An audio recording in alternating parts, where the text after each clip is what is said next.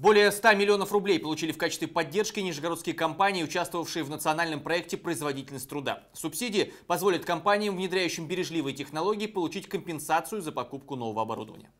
Мы получили субсидию в размере 5 миллионов рублей.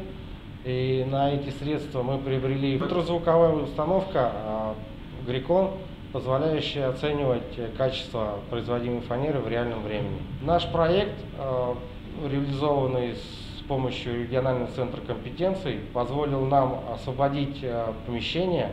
Мы в нем устроим дополнительный цех, который нам, во-первых, даст рабочие места, и, во-вторых, увеличение объемов производства до 20%. Более 100 миллионов рублей получили нижегородские предприятия в рамках национального проекта повышения производительности труда.